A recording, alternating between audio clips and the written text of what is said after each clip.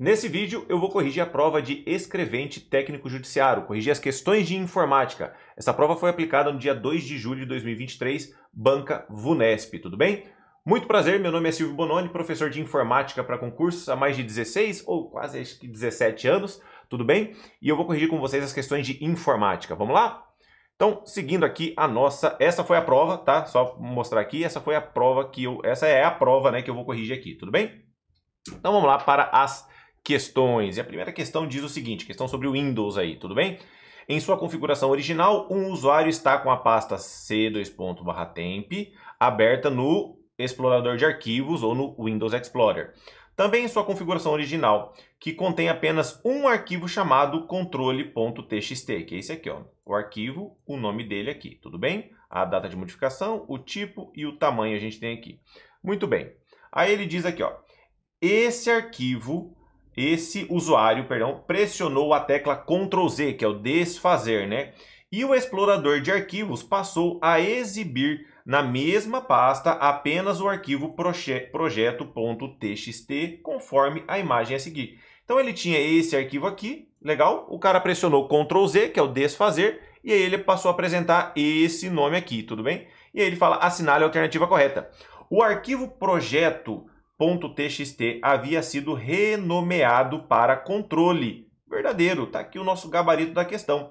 Porque se eu mudei o nome de um arquivo sem querer e pressionei Ctrl Z, eu desfiz a última alteração, que é o que o atalho Ctrl Z faz. Então ele desfez o nome que ele mudou. Então se ele de controle passou a apresentar projeto, quer dizer que esse era o nome anterior. Então ele voltou à ação ali. Então o gabarito aí fica sendo correto letra A, tudo bem? Legal que o Ctrl Z, é importante saber, que ele não vai funcionar somente para o Word, Excel. Ele funciona dentro do Windows também, né, como desfazer. Às vezes você mandou um item para a lixeira, pressionou Delete, mandou para a lixeira. Ctrl Z vai desfazer essa última ação, vai retornar o item para o local original, tá bom?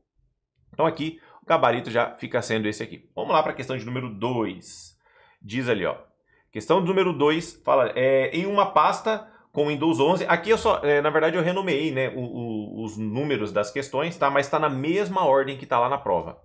Ah, em uma pasta do Windows 11, em sua configuração original, existem quatro arquivos chamados arquivo 1.txt, arquivo 2.txt, arquivo 3, arquivo 4. Legal.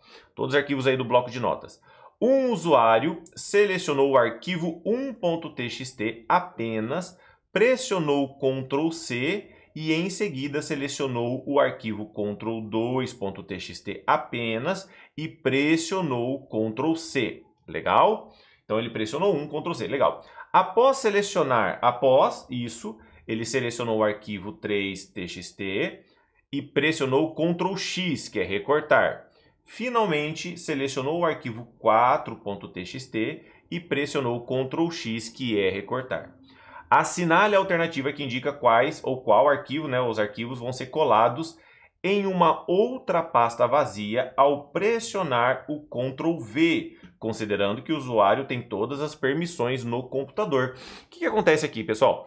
Quando você copia ou recorta arquivos em sequência sem colar eles, ele vai sobrepondo dentro da área de transferência. A área de transferência é a parte da memória, por exemplo, eu copiei o arquivo A, Ctrl C, ele foi para a área de transferência. Ele vai ficar ali na área de transferência. Legal. Até que eu cole ele em alguma outra pasta. Quando, né? Então, por exemplo, aqui, ó, a gente pode pensar mais ou menos assim, ó. Fica até melhor para vocês entenderem. Podemos pensar isso aqui é a área de transferência. Ele pegou e copiou o arquivo 1. O arquivo 1 foi para a área de transferência. Fica lá até que eu vou colar ele em algum lugar. Quando eu peguei e colei, copiei ou recortei o arquivo 2, ele sobrepôs aqui na área de transferência. Agora tem o arquivo 2. Como o arquivo 4 foi o último arquivo que ele colocou lá, recortou, no caso, né? Então, quem ficou na área de transferência aqui foi o arquivo 4, que ele foi sobrepondo. É o, a, a, o Ctrl-C ou Ctrl-X vai colar o último que está sendo copiado ou recortado, no caso. Né? Então, quando ele foi colar aqui, ele colou somente o arquivo 4, tudo bem? Então, gabarito aqui, letra B, somente o arquivo 4.txt foi colado porque ele foi sobrepondo os itens ali, tá bom? Então isso que aconteceu, foi sobrepondo um, depois o 2, o 3, por último ficou o 4. Qual foi o último que ele copiou ou recortou? Tanto faz se ele usasse Ctrl C ou Ctrl X. O último que ficou foi o arquivo 4. Esse é o arquivo que ele, na hora que pressionou o Ctrl V, aqui, né, o Ctrl V de colar, foi que ele colou apenas, tá bom? É, vamos lá, próxima questão. Próxima questão, a gente tem uma tela do Word aqui, legal, tem uma tela do Word. Eu, eu acho interessante, né, ver alguns pontos, ó. Então ele tem a guia página inicial selecionada, tudo bem, tá aqui a guia página inicial. Tem também os botões selecionados aqui, ó, dá para ver que eles estão selecionados, negrito, itálico, sublinhado. E o alinhamento que ele está usando é o alinhamento à esquerda, que também está selecionado aqui, tá bom? Isso aqui eu só estou mostrando, não sei se, né, a gente vai ver se, o que, que ele vai perguntar agora. O cursor, do, o cursor do mouse está posicionado no final do texto. O cursor do mouse é essa barra aqui, tá? Você vê que ela está até inclinada por causa do itálico, tudo bem? Você vê que está levemente inclinado. Uh, se o usuário clicar nos ícones negrito e itálico e digitar uma palavra, essa palavra estará formatada da seguinte maneira. Pessoal, se eu tenho aqui o negrito, itálico e sublinhado ele falou que ele desativou o negrito, desativou o itálico, qual a única opção que ficou agora para continuar o texto? Só o sublinhado, né? Que ele desativou os dois. Então, a única opção que vai ficar aqui é o gabarito da letra C, que é o sublinhado apenas, né? Só o sublinhado aqui. Legal? Então, bem tranquilo aqui. Eu gosto da VUNESP. A VUNESP ela tem essa característica, você pode ver nas questões, principalmente de Word, é, até de Windows também, que são, são situações do cotidiano na maioria das vezes. Na maioria das questões são coisas que você usa, né, que o usuário realmente usa no dia a dia. Então, para informática, eu, eu, eu, de tudo que eu sempre estou estudando sobre VUNESP, inclusive vou deixar aqui na descrição o meu curso de VUNESP, de questões comentadas de informática da banca VUNESP, exclusivo, né? Com curso que eu estou atualizando ele com as questões mais atualizadas dessa banca, separado por temas, todos os gabaritos comentados em vídeo. É, e a, você vai reparar que a VUNESP ela tem essa característica de ter procedimentos e coisas que a gente usa, então eu acho que é muito justo em relação ao usuário, coisas que ele realmente trabalha, tá? Não só aquelas coisas que você nunca vai usar na vida, entendeu? Vamos lá. Um usuário criou uma tabela no Word, tabela no Word, né, em sua configuração original, com uma linha. Então a tabela tem uma linha e tem duas colunas. Então a tabela está aqui. Nossa, uma tabelinha bacana. Nossa, então essa tabela minha aqui ficou, na verdade, é uma linha e duas colunas. Essa é a tabela. Legal? Tá aqui, ó. Uma linha e duas colunas. Essa é a tabela. Tudo bem? Aí ele diz ali, ó. Com o cursor do mouse na primeira célula da tabela, ou seja, aqui, esse usuário digitou A, então ele digitou a letra A e pressionou uma tecla. Depois digitou B e pressionou outra tecla. Legal? Após é, digitou C, pressionou outra e finalmente digitou D e pressionou outra. Ao final, a tabela continha três linhas e duas colunas. Legal? Então vamos lá. É, o que, que ele falou? Então no final a tabela foi para três linhas. Então, vou colocar aqui três linhas e duas colunas. Então ele falou aqui, ó, ele digitou A, pressionou uma tecla. Aí depois ele digitou B, pressionou outra tecla. Depois ele digitou C, né? Que ele fala aqui, ó, pressionou C e digitou outra tecla. E finalmente D e outra tecla. O que, que aconteceu, pessoal? Quando que dentro do Word uma tabela cria uma linha automática? Quando você usa a tecla Enter? Não. Quando eu uso a tecla Tab, tá? Quando eu uso Tab, eu vou mudando, vou colocar o T de Tab aqui, eu vou mudando de célula para célula. Para essa tabela ter ficado no final com três linhas e duas colunas, quando ele digitou A, foi para uma outra célula, digitou B. Quando ele apertou Tab de novo, automaticamente a tabela criou uma nova linha. Tudo bem? Aí ele digitou C, D. Na, quando ele chegou aqui na letra D, você viu que ele apertou o Tab novamente. Quando ele fez isso com o Tab, automaticamente a tabela criou uma nova linha. E aquela linha ficou em branco. Então, no final, a tabela ficou com três linhas e duas colunas. Tudo bem? Então, ele usou em todas as situações aqui a tecla Tab. Que a tecla Tab vai fazer você navegar de célula em célula. E quando eu aperto, tipo, essa, essa tabela linear tem duas colunas. Quando eu estou na coluna 2 e apertei o Tab, ele não cria uma nova coluna, ele cria uma nova linha no caso, tá? Não é nova coluna, nova linha. Ele mantém a quantidade de colunas, mas cria novas linhas à medida que eu vou apertar Tab. Se você apertar o Shift, pressionar o Shift mais a tecla Tab, ele vai retornar daí, né, para você navegar de forma retornando dentro das células, tá bom? Vamos lá então, gabaritos com a letra C, vamos para a questão número 5. Tem-se o seguinte documento editado no Word e sua configuração original. Olha, terceira questão de Word aí na prova. Considerando que as marcas de parágrafo estão ativadas, né? As marcas que são esses símbolos aqui, tudo bem? Isso aqui, ó.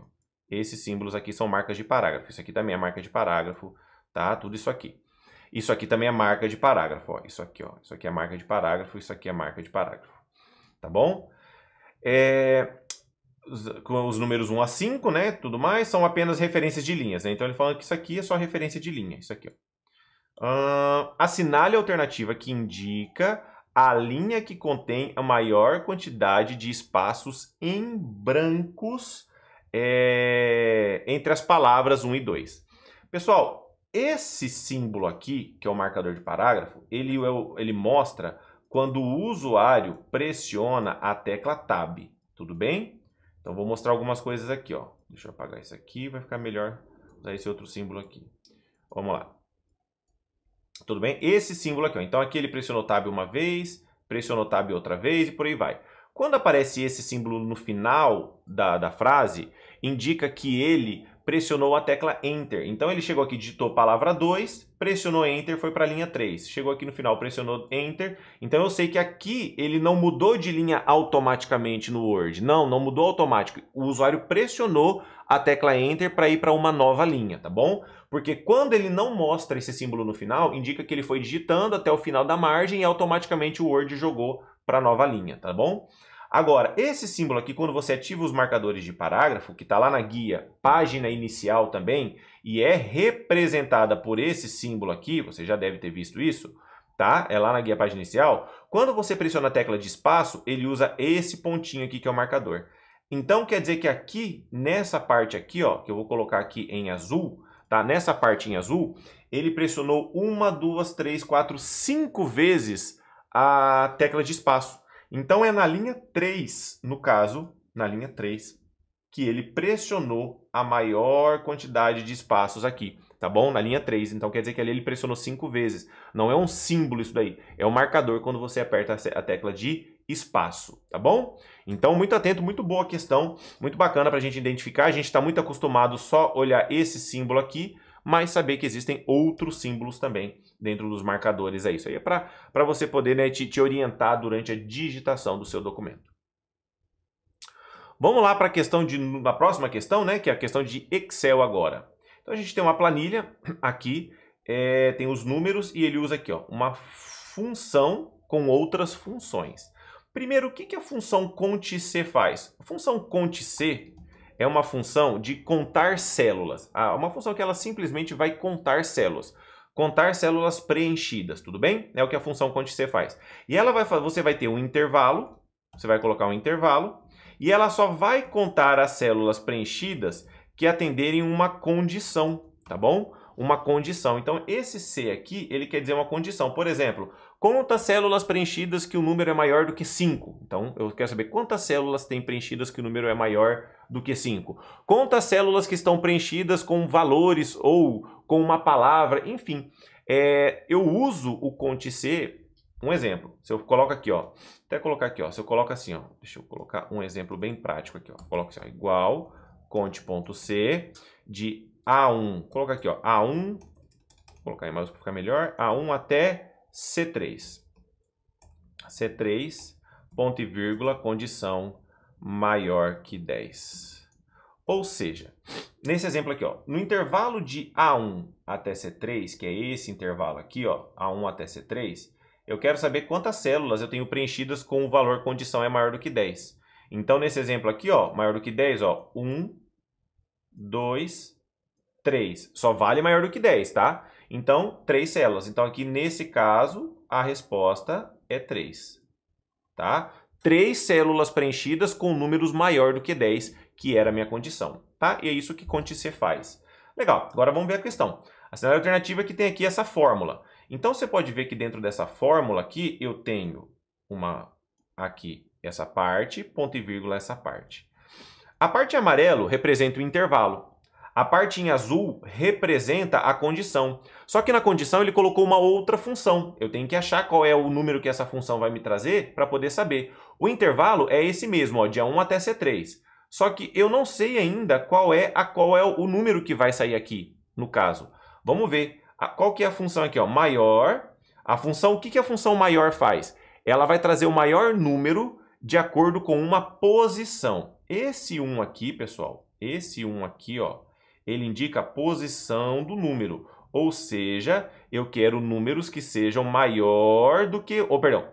Eu quero o primeiro maior número, tá? Aqui quer dizer o primeiro maior número. Então, no intervalo de A1 até C3, quem é o primeiro maior número? Vamos ver? Então, vamos ver aqui, ó. Cadê? Aqui. Deixa eu ver, tá posicionado aqui. Aí.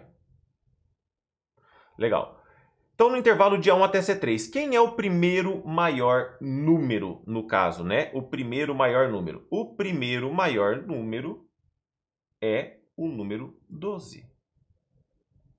Esse é o primeiro maior número, correto? Beleza. Então, como que vai ficar essa fórmula no final? Ela vai ficar assim, ó. Igual, conte ponto C, de A1 até C3, ponto e vírgula 12. Silvio, mas não tem aspas aí, nem maior, nem nada. Tudo bem, quando eu coloco o número direto, eu não preciso colocar aspas. Quando eu coloco o símbolo aqui, por exemplo, do maior, esse símbolo aqui, ó, do maior aqui, ou menor, diferente, alguma coisa, eu preciso colocar aspas, tudo bem? Como ele não colocou aqui, ó, como ficou só um número no final 12, eu posso né, colocar o 12 direto, sem aspas. Então, o que, que o Conte C está falando? No intervalo de 1 até C3, quantas células tem o número 12? Uma só. Só essa célula tem o número 12. Então, resposta letra E. Eu não estou procurando o número 12. Eu estou procurando quantas células tem o número 12. Esse 12 aqui é a minha condição. Indica que eu só vou contar as células que tenham este número aqui. Tudo bem? Então estou procurando células. Quantas células tem o número 12? Não estou procurando o número 12. Então cuidado com a pegadinha aí. Acredito que muitos candidatos marcaram a alternativa D aí, que seria a alternativa errada. Legal? Muito boa questão aí para fazer perder o ponto quem não estuda Excel. Vamos lá então agora para a questão de número 7. Olha só. Considere a seguinte planilha criada no Excel em sua configuração original com as células A1 e B1 formatadas como data. Então aqui, ó, né, A1 e B1. E aí ele fala, ao inserir a fórmula A2, aqui na célula, na célula A2, né, essa fórmula aqui, qual será o resultado? Pessoal, a função dia, ela vai trazer o número do dia que você está, só o número do dia que você está procurando. Então, quando eu coloco aqui dia B1, ele vai me trazer o valor 20, porque em B1 o dia que eu tenho aqui é o dia 20. Quando eu coloco aqui na célula dia de A1, que é essa daqui, né? Essa daqui, ele também vai me trazer o valor 20. Então, 20 menos 20 vai ser igual a zero. Quando que seria a resposta 31 no caso? 31 se ele usasse a função data. A função data faria essa diferença de dias entre uma e outra. A função data é uma função de três parâmetros, onde eu coloco ano, mês e dia. Então, se eu coloco data o ano, mês e dia menos data, o ano, mês e dia, que está falando aqui, a resposta seria 31 dias. No caso, a função dia, ela só pega o número do dia ali, tudo bem? Por isso, a resposta é zero, beleza? Legal? Vamos lá agora para a questão de número 8. Tem-se a seguinte planilha criada no Excel, sua configuração padrão, onde a célula A7, que é essa daqui, tem uma função soma de A1 a B5, exibindo o valor 62. Legal.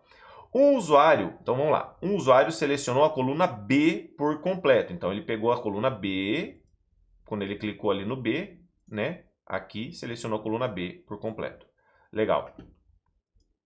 É, e com o botão secundário, ou seja, botão direito do mouse, é, sobre a letra B, clicou no botão inserir. A, inserindo assim uma coluna em branco conforme a imagem a seguir, onde o conteúdo da célula A7 foi propositalmente oculto, né? Agora ele ocultou aqui, ó. tá? Só para você não ver o que aconteceu. Legal? Então veja, ele tinha coluna A, aí ele clicou na coluna B, inseriu uma nova, então os valores que tem em coluna B, ó, 6, 8, 7, 5, eles foram para a coluna C, ó, estão aqui, ó. Aqui, porque ele criou uma coluna no meio aqui, né? Usou o botão inserir lá, coluna inserir. Nessa coluna em branco, o usuário inseriu o valor 1 em todas as células de B1 a B5. Olha lá, agora ficou assim. Então veja só, a planilha era assim, A e B, tudo bem. Aí ele inseriu uma nova coluna, ficou assim, ABC. Aí depois ele foi na terceira figura, ele falou que na célula, na, onde era o B agora, ele colocou todo o número 1, ó, preencheu com o número 1 aqui, tudo bem? E isso que aquilo que estava na coluna B, né, foi para a coluna C. Antes aqui a soma de A1 a B5 tinha 62. Aí ele pergunta aqui agora, ó, assinale a alternativa que conteúdo da célula A7, que é aquela que eu marquei, após as operações descritas no enunciado. Então veja, ó, essa aqui era o resultado primeiro. Então aqui onde está o 62, ele tinha aqui ó, a função soma, né? Aqui ele tinha a função soma, que estava somando todos esses valores aqui. Na verdade, só lembrando, aqui ela estava somando isso aqui, ó. Só para colocar, ó. A soma era isso aqui. Aqui, de A1 a B5, ó. Que nem ele falou.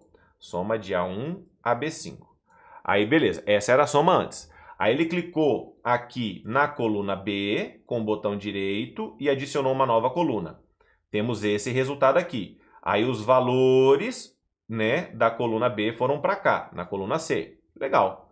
Aí agora, aí ele preencheu a coluna B com o número 1 e quer saber o valor total. O que, que acontece? Automaticamente, quando, como ele colocou uma célula no meio da fórmula, a fórmula que antes era assim, ó, igual soma de A1 até B5. Essa fórmula passou a ser igual soma de A1 até C5. Tudo bem? Por quê? Porque ele ajustou automaticamente a fórmula porque eu coloquei uma coluna no meio da onde estava a fórmula ali, entre os intervalos, tudo bem? Então ele está somando agora de A1 até C5, legal? Então se a soma antes era 62, 62 mais 63, 4, 5, 6, 7. Estou somando mais esses valores aqui. Então resposta letra C, tá? Resposta letra C, porque ele passou a somar esses números 1, eles passaram a ficar dentro da fórmula. A fórmula que era assim, automaticamente ela atualizou para isso daí. Tudo bem? Atualizou para isso daí. Porque o que acontece? Se eu colocasse uma coluna antes da letra A, a fórmula continuaria pegando só esses valores aqui. Ele não ajustaria para trás, ele fica ajustado entre o início e o fim da fórmula. O que eu coloco em, insiro de célula no meio, ele ajusta. Mas se eu colocar uma célula depois da fórmula ou antes ali do intervalo que ele me mencionou no início, aí ele não pegaria, tudo bem? Mas como foi entre, foi dentro ali, ele ajusta automaticamente. Por isso a nossa resposta ela é 67. Outra excelente questão da banca aí, né, para pegar os desprevenidos, tá bom? Questão foi leve maldosa, como a outra da função data também, foi uma questão né, ali nada demais, porém detalhes, né, que fazem a diferença para quem está estudando já Excel. Considere, né, aqui para responder as questões do Outlook, as, questões, as próximas, né, que seriam 85 e 86. Então a gente tem um e-mail aqui, pessoal, vamos lá. É um e-mail que é de João para o Ricardo, com cópia para o Fábio, cópia oculta para o Pedro e o assunto reunião em 20 minutos. Tudo bem, esse é o e-mail. Vamos lá. Lembrando aqui rapidamente, né, só lembrando um detalhe aqui, que o João mandou o um e-mail para o Ricardo, Fábio e Pedro. Mandou um e-mail para os três. Legal. Lembrando que o Ricardo sabe que o e-mail foi para o Fábio, o Fábio sabe que o e-mail foi para o Ricardo, só que o Ricardo e o Fábio não sabem que o e-mail foi para o Pedro. Mas o Pedro sabe que o e-mail foi para o Fábio e o Pedro sabe que o e-mail foi para o Ricardo. Obviamente, todo mundo sabe que o João mandou. Tá bom? Então, beleza. Ricardo ao receber a mensagem, clicou no botão responder a todos, né? Clicou no botão responder a todos.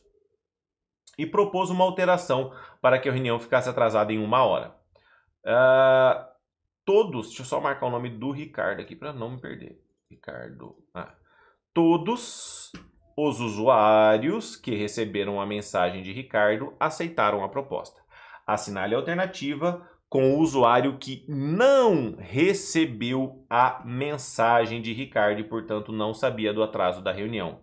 Veja, o Ricardo é esse cara aqui, ó. Esse cara foi o que respondeu a todos. Esse cara aqui foi o que respondeu a todos. Se ele sabe que o e-mail foi para o Fábio né, e veio do João, a responder a todos vai e-mail para o João e para o Fábio.